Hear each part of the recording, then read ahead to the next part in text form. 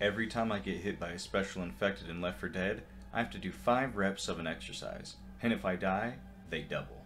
Let's see the damage. Oh shit! I'm smoked. Let's pull ups.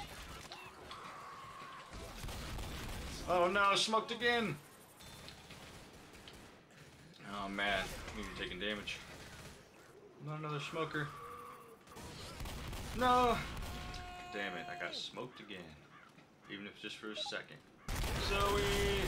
Oh, tanked and boomered. Oh no, I'm down. Did that count as me surviving? I'm the only one who died.